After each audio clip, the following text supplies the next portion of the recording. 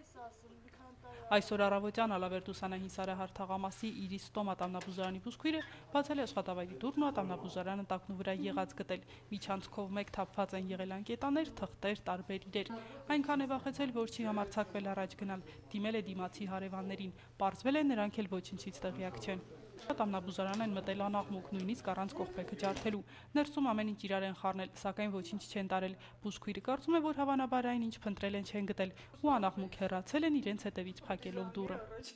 Դուրը բանալիով բացել եմ, դուրը փակված էր նորմալ ձևի,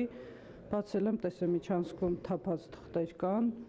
մի քիչ առաջ գնացի տեսա բասկաթորը պատրտորած, վախել եմ հետ եմ եկե զանգի բժշկուն։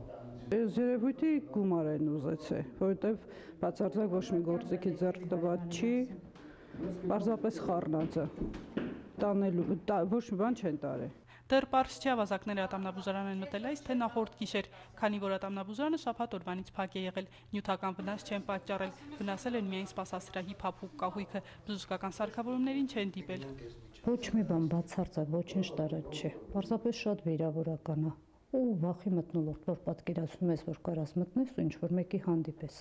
Չգիտեմ ինչ են մանեկել, չեմ պատկերացնում ինչ են մանեկել, բայց ոչինչ չեն տարել։ Բացարձակ ոչինչ պակաս չի,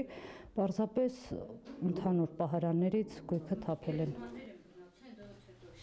Աստղիկ Խաչատրյանը դեպքի մասին տեղյակ է պահել նաև ոստիկանության Թումանյանի բաժնում։